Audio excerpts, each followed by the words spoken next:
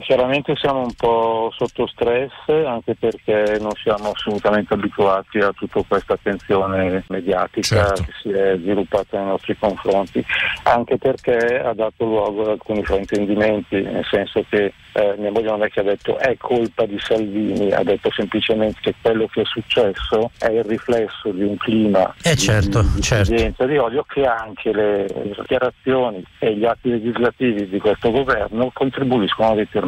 Sì. non è che Sono assolutamente d'accordo. Eh, chiaro, chiaro. L'hanno inventato Salvini per l'amor di Dio, ci mancherebbe. Certo. No, io volevo solo chiederle se percepite un, un clima ostile. Ecco, mettiamola no, assolutamente. così. Mm. Assolutamente, mai avuto problemi con nessuno, mai avuto a che dire con nessuno. Tutti gli ambienti che Bacari ha frequentato è sempre stato accolto molto bene, anche perché è un ragazzo che sa, sa farsi voler bene, insomma. Diciamo certo, diciamo certo. Ecco. Mm-hmm. Mi viene in mente il fatto, lei ha detto, lui ha ottenuto un permesso per protezione umanitaria, che sono quelli che sono stati mm. fondamentalmente cancellati. Esatto, Quindi se col decreto sicurezza, col decreto sicurezza diciamo, altri Bacari non, non, non, avrebbero la possibilità di rimanere anche se temporaneamente sì, sul territorio. Perché le faccio un esempio, quando è scaduto il permesso noi abbiamo fatto la regolare domanda di rinnovo, sì. ma eh, tra decreto Minniti all'epoca sì. e decreto sicurezza oggi è praticamente impossibile ah. ottenerlo. La cosa importante da dire è che insomma mh, diciamo certe, certe, prese di posizione e certe decisioni della politica mh, rischiano di, di, diventare terreno fertile per episodi come quelli che sono capitati sì, a voi. Nel senso che, nel senso che allora, eh, un determinato modo di affrontare queste situazioni che parla unicamente alla, all'emotività più spinta, alla, anche alla paura e anche alla, alle difficoltà delle persone, eh, pone un problema ma non, pone le, non, pone le, basi per poterlo risolvere. No? Certo, ecco, certo, è certo. quello che ci preoccupa, insomma, anche perché cioè, è facile dire prima gli italiani, no? prima gli italiani, però secondo me se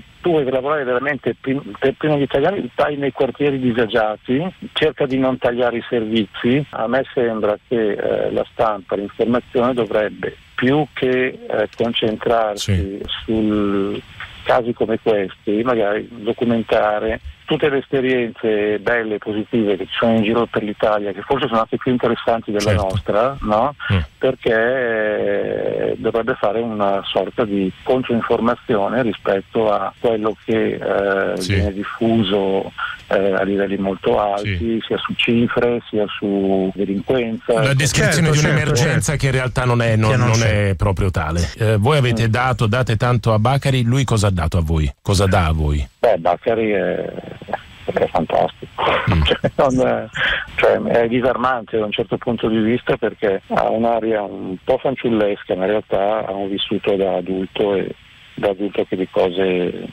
di cose ne ha viste. Però quello che a me lascia sempre sorpreso è la sua capacità di, di fidarsi proprio, no? mm-hmm. di, bisogna avere pregiudizi,